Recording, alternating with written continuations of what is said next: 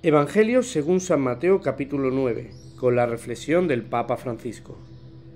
Los discípulos de Juan se acercan a Jesús preguntándole, ¿por qué nosotros y los fariseos ayunamos a menudo y en cambio tus discípulos no ayunan?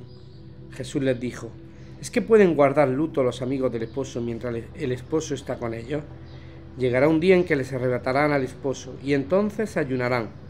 Nadie echa un remiendo de paño sin remojar a un manto pasado porque la pieza tira del manto y deja un roto peor. Tampoco se echa vino nuevo en odres viejos, porque revienta los odres.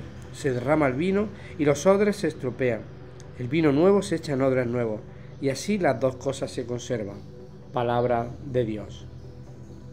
Reflexión del Papa Francisco. La ley está al servicio del hombre, que está al servicio de Dios, y para esto el hombre tiene que tener el corazón abierto. La actitud de los que dicen siempre se ha hecho así, en realidad nace de un corazón cerrado. Oración. Señor, sabes que a veces pretendemos seguir tu camino sin antes cambiar nuestro modo de pensar y sin limpiar nuestro corazón. Y entonces sentimos como nuestro interior se rompe, como un odre viejo.